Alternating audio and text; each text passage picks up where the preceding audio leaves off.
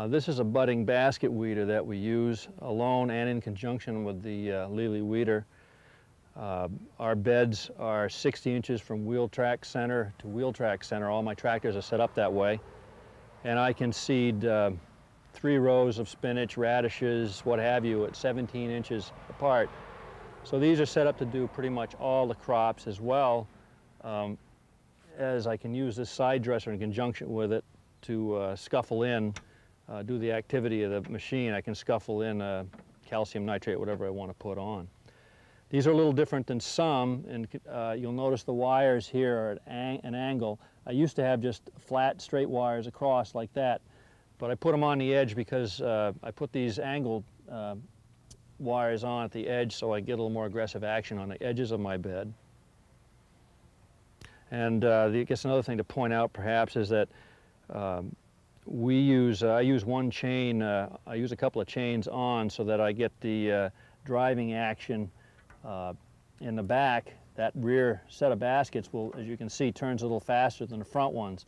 This kind of dimples into the soil and roots out the plant, and that second line will come right behind and sort of kick it out, kick it out under, so it lays on top of the ground.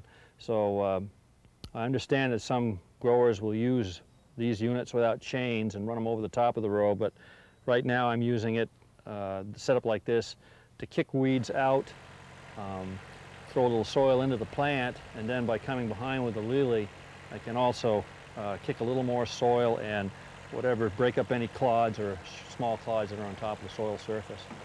The tractor speed that I use really depends upon the soil I'm in and how, how much soil I'm throwing around and how small the, the, uh, the crop that I'm cultivating is. Uh, you're in beans and, and they're up pretty good. I'll, you know, I'll clip along four to six miles an hour. Uh, got out some newly transplanted lettuce and I want to go between it. I'm a little, little more tender with the joystick, I guess vegetable farmers, and their weed control machines. In this video, we visit nine vegetable farms in three New England states to talk with growers about their weed control equipment and how it's used. They will describe a variety of cultivation tools and approaches to weed control. Hopefully, their knowledge and experience will help you get a better understanding of cultivation equipment and techniques. Matching cultivation tools to the soils, crops, weeds, and other particulars of a farm can be a complex task. Growers that are trying to reduce or eliminate their reliance on herbicides need information that will help them make good decisions about cultivation and weed control. Extension, research, and the private sector working together can generate that kind of information. Funded in part by the USDA Sustainable Agriculture Research and Education Program, promoting environmentally sound and economically viable agriculture. This video was produced by Vern Grubinger, University of Vermont Extension System, and Mary Jane Else, University of Massachusetts Agroecology Program.